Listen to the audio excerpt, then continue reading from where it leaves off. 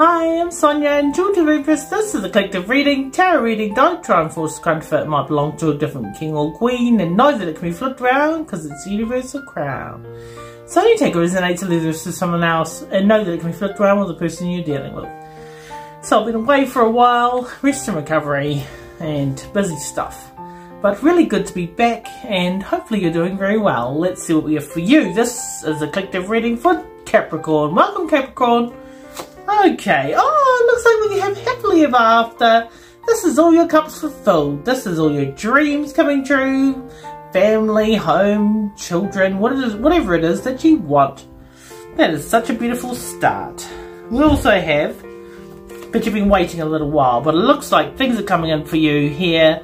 But you've been so patient and now things are starting to happen for you. But because you've put the work in, this is actually like you planted the seeds and stuff is starting to blossom here.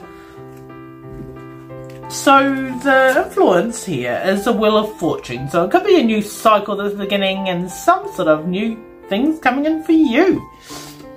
Oh, it looks like it's a soulmate. You're calling in your soulmate here. This is two cards of soulmate. Someone who could be returning.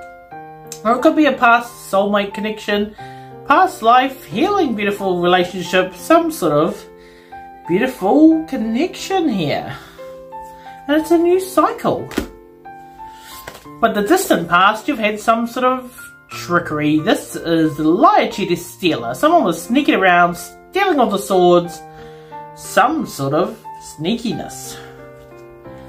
So the world. So you actually have like a new cycle here that started and it's actually that you have tried to move forward from this trickery and thievery and started a new cycle. Also focusing on your work, you're actually doing really good in your job, things are starting to happen for you. And it's also that you are working very hard and actually being noticed for what you do. Recent past, we have a water sign energy here. This is Pisces, Cancer, Scorpio, Masculine energy is somebody here who is emotionally stable. They could be feeling a little bit emotional, but they want to take a leap of faith towards you. They are looking and maybe they have taken a leap of faith towards you, or someone is wanting to, masculine energy. But we also have a feminine energy, someone who's very financially stable. This could be a boss energy, someone that is a business owner. Virgo, Taurus, Capricorn, feminine energy. Someone who's nurturing. Very good with their money.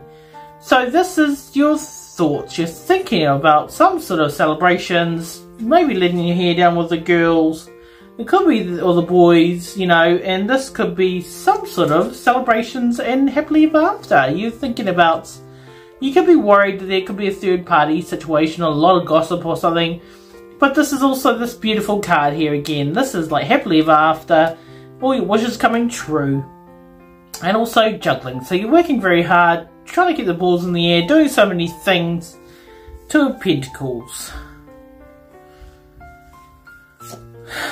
So your the future is divine masculine. This is Aries energy, someone who could be very financially stable. They would like stability with you. Somebody here who's divine masculine. So this is Aries energy. Somebody who likes stability, but they could be a little bit controlling of their emotions, a little bit stubborn maybe this is also wish fulfillment. So your wishes are all coming true here. Happily ever after and actually getting, be careful what you're wishing for because it looks like you're getting it. Financially stable. We have this masculine energy as well. So this could be the divine counterpart matched to this person here. This is somebody who could be a business owner. So we have Virgo, Taurus, Capricorn. So this could be a divine masculine. This could be the same person here or it could be two different options. You could have wish fulfillment, so be careful what you're wishing about. That's Virgo, Taurus, Capricorn again. That could be you. Because you could be a female and a male and embody in either of those energies. So your fears is that you've got so many options that you don't know what to choose. This is illusions, romantic illusions. Looking at all your options and you don't know what to choose. So it's like you've got so many options, you need to make some decisions. So this is your fears. So you're fearing there's so many options. Maybe this is that you're healing. Someone's feeling fearing that you're healing, or and that you're also getting wish fulfillment. And actually that you have a masculine energy here. that is very good looking. Someone has a lot of passion. They could be somebody who's so charming and good looking. They are somebody who's interested, possibly. Maybe you're fearing someone that is a fire sign. And they have so much passion towards you, they find you so irresistible. You're fearing that you've got too many options, you don't know what to choose.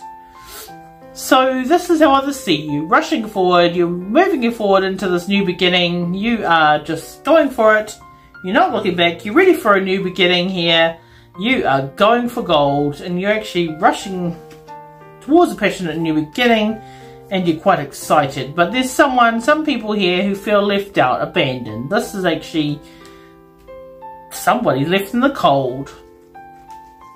So this is your hopes. You're hoping that you can have some sort of options in love. Maybe it's that you got a love-hate situation and actually that you would like to have options.